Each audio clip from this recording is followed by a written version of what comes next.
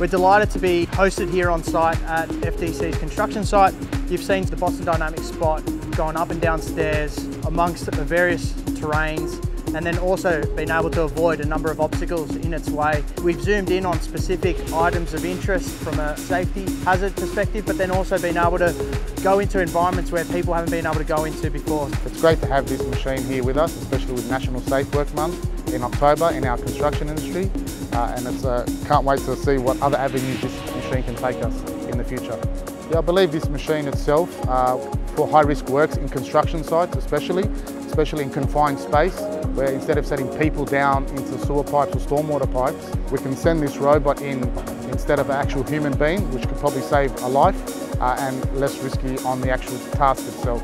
Another good opportunity for us in our industry is to have this machine and this technology on our safety site walks and also to discover hard access points to get into uh, and to ensure that it can take photos and keep records because daily records are very important for us in our industry.